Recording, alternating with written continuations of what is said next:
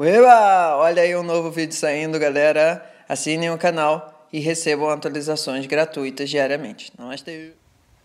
O tema da ejaculação no Ayurveda é um tema muito importante e ele está dentro dos hum, 13 ou N necessidades fisiológicas naturais dos Vegas, como a gente já falou disso num vídeo lá do curso.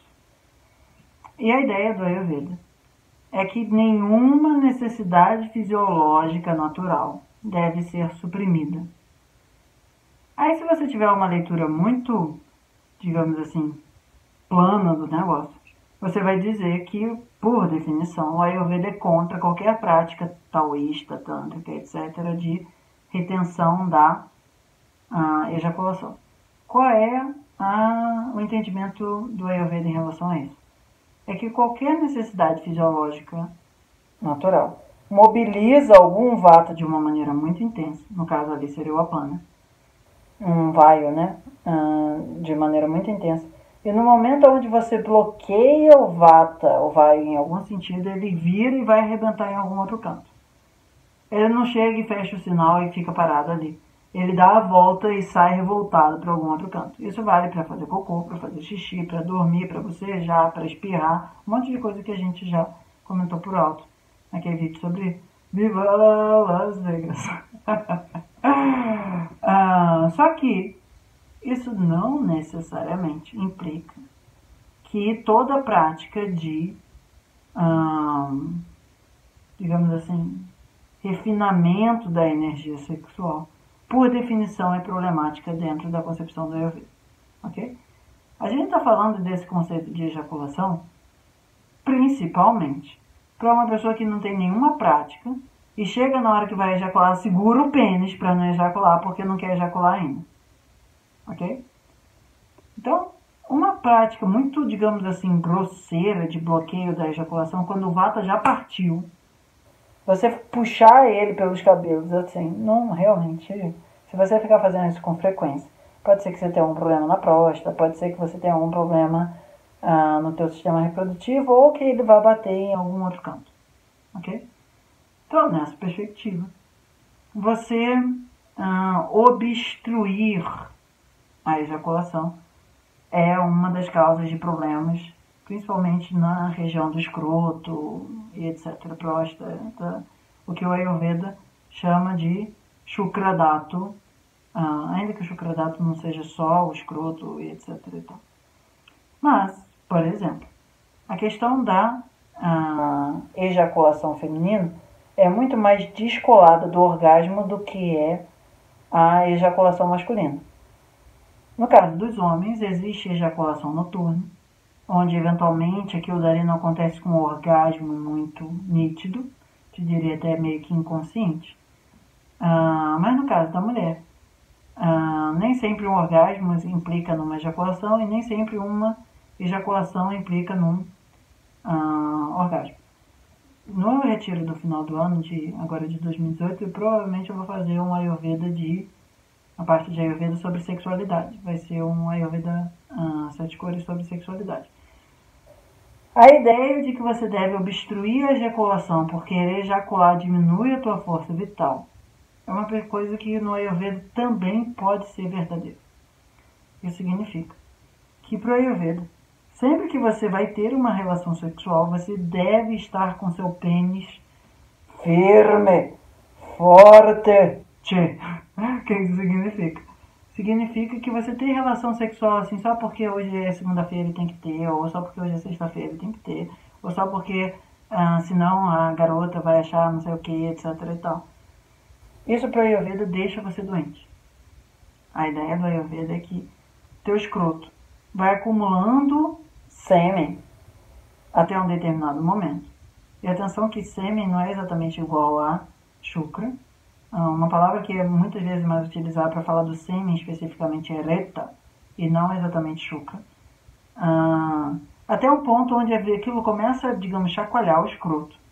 E aquilo dali, nesse momento, onde aquilo está entupido de sêmen, você vai ejacular, é benéfico para a saúde. Problema é que isso teoricamente acontece a cada 3 dias, 7 dias, 15 dias, 30 dias, 6 meses, que seja, dependendo da idade da pessoa, dependendo da procreção da pessoa, dependendo do quanto ela está equilibrada ou não. Mas o ponto todo é o seguinte, se você está com o teu saco doendo, mano, e você não ejacula, isso para o Ayurveda não é saudável. Então o Ayurveda não é uma questão de você não ejacular em absoluto. O Ayurveda não é uma questão de você é, ejacular toda hora, que é meio que a nossa cultura advoga. Ok? Nesse sentido, o que Tantra, eventualmente também o sexo taoísta advoga de que não é para você sair ejaculando assim, porque senão você vai, descer, senão você vai ficar fraco. O Ayurveda também concorda. Só que ele concorda dentro de uma certa quantidade excessiva. Se for numa quantidade certa, você vai ejacular para o Ayurveda, é fundamental para uma pessoa normal, para manter a saúde. Você ejacular de menos, estresse escroto. Você ejacular demais, estresse escroto. Hum, você ejacular de uma maneira adequada, você não fica escroto. o que isso significa? Significa que o Ayurveda vê um uso adequado de todos os dados seja ele o Rasa, o Rakta, o Mansa, o Meda, o Asti, o Madhya e o Shukra, ok?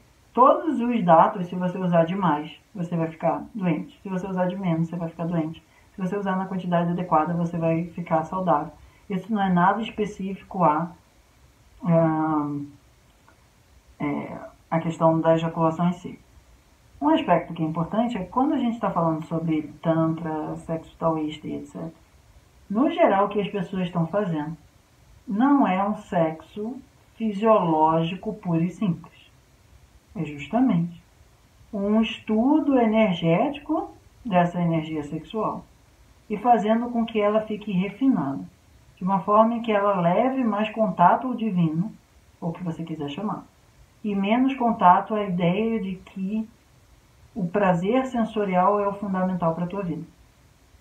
Eu sei que no Ocidente essa ideia do Tantra é muito para você ter orgasmos infinitos e etc e tal. Mas essa é uma visão rajásica do Tantra. O Tantra não é para isso, pelo menos o Tantra sático, onde você, não importa se você está dançando com a lua, não importa se você está comendo uh, um arroz com feijão ou qualquer coisa que seja, você está usando os seus sentidos para se encontrar com o divino. E não exatamente você está usando os seus sentidos para, é, digamos assim, ficar feverishness, ficar tipo super excitado com a vida, ok? Porque o objetivo do Tantra é fazer com que você tenha uma compreensão global, você tenha uma compreensão total, você tenha uma expansão completa da tua consciência. E isso liberte você. Só que originalmente o Tantra era do tipo assim, se você tem problema com sexo, você tem que mergulhar no sexo para se libertar dele.